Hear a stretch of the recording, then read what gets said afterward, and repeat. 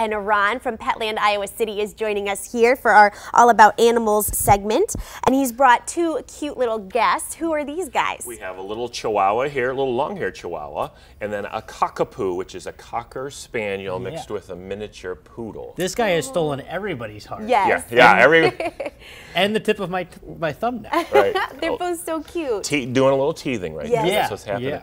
With So- when you're looking at puppies or dogs, I always say, you know, there's some good questions that you can Mm-hmm. ask yourself, and you, they're not so obvious answers, is what I keep on finding when I talk with people. Mm-hmm. Um, you know, right now we have a, a shedding dog and a somewhat non-shedding dog. Right. And a lot of people go, oh, I want the non-shedding dog because that's a lot easier.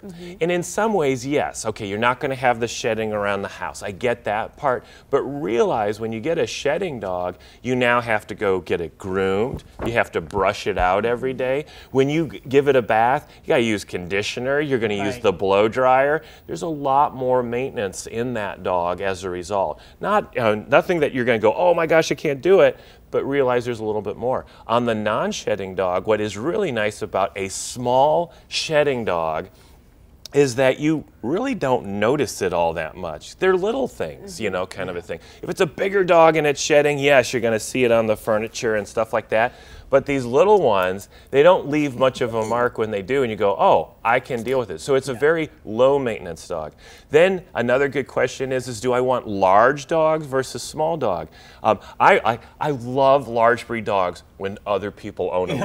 Here's what I always say. Because I love playing and I love rolling around and all that kind of stuff. But realize a large dog is going to require a more active lifestyle because you're going to go running with them, walking with them, and all that kind of And, thing. and the exercise is just more strenuous. Yes. Yeah, on everybody. And yeah. so you just want to make sure, are you ready for that commitment? Uh, I always say the counter surfing, you know, with a large breed dog. There's more training than that you got to work with them on that.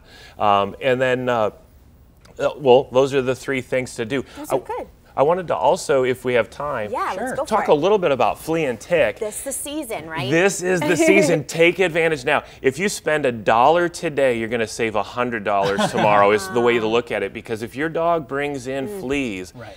It now gets into the house and you have to do a lot more work. So it saves money. And now the doses per month are somewhere around 10 to 15 dollars. It's really not that much for prevention, especially if it's going to prevent thousands of dollars.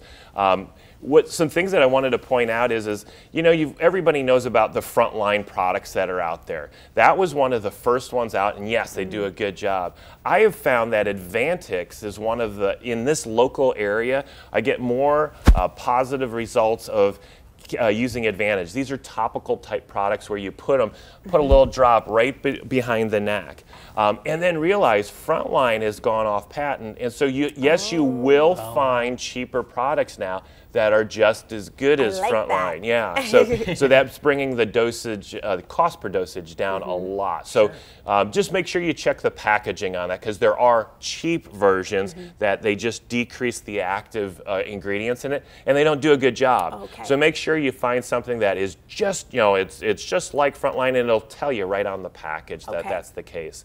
Um, some other products here, you know, all herbal type products where it's safe for cats and dogs and all that kind of stuff. Make sure you get cat specific and dog specific because the ones that are good for dogs sometimes harm the cats. So don't mix and match. Make Oh. Sure the label says that. Especially if you have a household that Yes. has. Yes. Oh, yeah. Yeah, And, and you realize when you go buy the products, they're weight dependent. Mm-hmm. And so you're going to buy the heavier dosages for the bigger dogs and don't get them mixed up and all that. And the packages are really good with that.